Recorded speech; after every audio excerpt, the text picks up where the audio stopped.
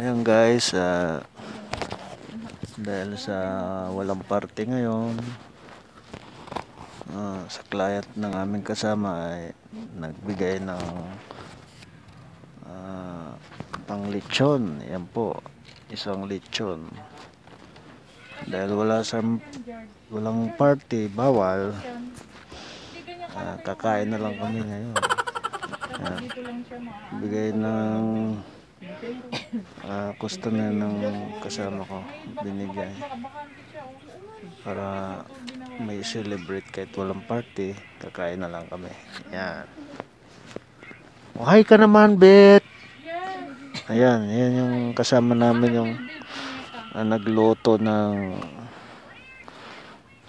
ah, ulam.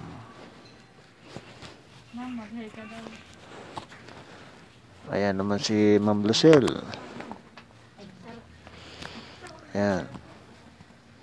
Ayan ang pinakamaganda rito sa branches namin. Ayan. Ano masasabi mo sa client ni Sir Bong? The best. Siyempre, the best yun.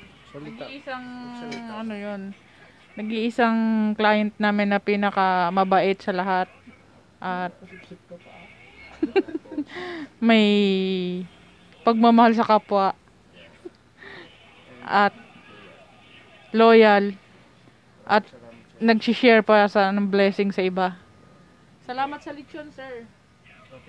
Oh, sir, yung lechon na binigay mo, ito na. Oh, maraming salamat.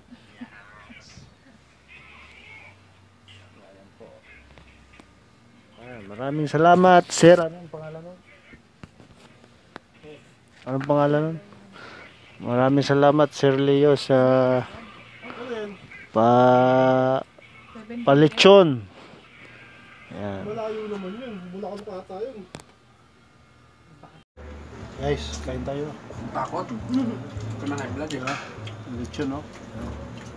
Guys, Ano masasabi mo mong sa client mo, Bong? Thank you very much, sir. Leo Cuevas. Cueva pala. Siya po yung kasama ko na nagbigay ng 10,000. Kain, guys.